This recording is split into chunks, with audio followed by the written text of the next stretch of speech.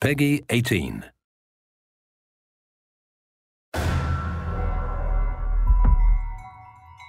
Mother showed me the worst that life has to offer. And I want more.